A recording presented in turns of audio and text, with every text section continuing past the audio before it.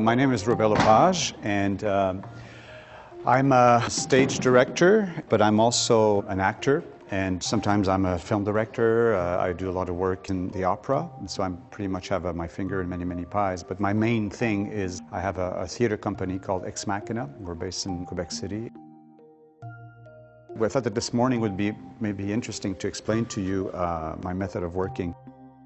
It's more fun to tell stories as a group, and it's more fun and richer to take everybody's experience and disciplines and, and make them converge together. You help the piece say what it is that it wants to say. So it's not starting with that idea, it's, it's letting it appear and imposing itself.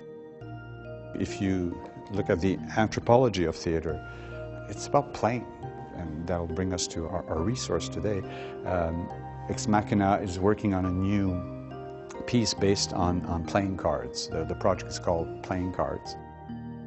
We believe that the content is, is in here you know, that there's uh, tons of stories in this. And I believe that if, if we, we give you that resource, that you, you actually can come up with your own interpretation. My mom used to play poker every night when I was a kid, so like I see cards and I have like flashbacks immediately. So it's a, a family thing. Uh, It was a, a family issue. yeah, for sure. yeah. you know, when I was talking about the way we explore this, and, and, and uh, at least one thing we could try this afternoon in the playfulness of this is we try to play cards. Just play cards. Just do that.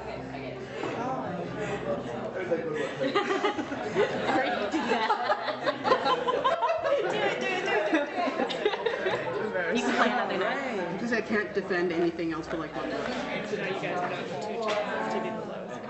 You see me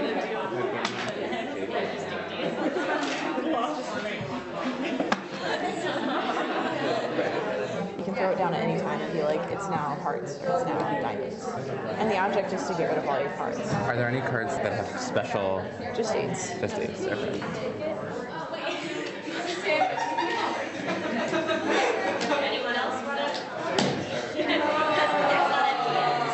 Okay. All games are over. All right. So, the last thing I want us to take some time to, to do, which is something I always try to do as part of the uh, exploration thing, is that we'll just do like one big collective drawing. There's no rules to this. You just draw the impressions that you have of what we did together today about cards, whatever.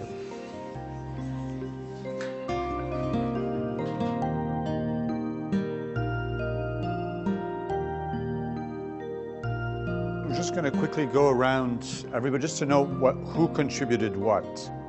How about you? I added the axe to the players at the main table.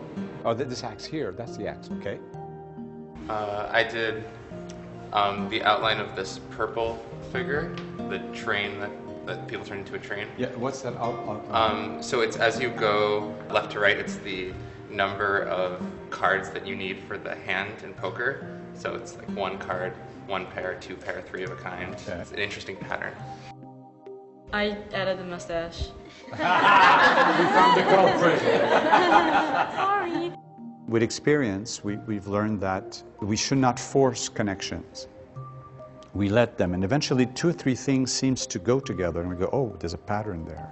And then we sit and we score, which is, of course, is a weird way of thinking because we're used, but we've brought up to say, you're the master, you're the writer, you're the guy who, who, who controls the show, who says to the show what to do.